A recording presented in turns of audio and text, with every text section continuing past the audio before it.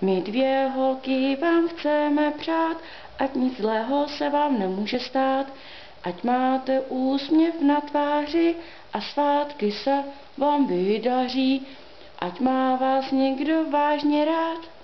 To je tak vše, co chceme vám přát. Hezké Vánoce!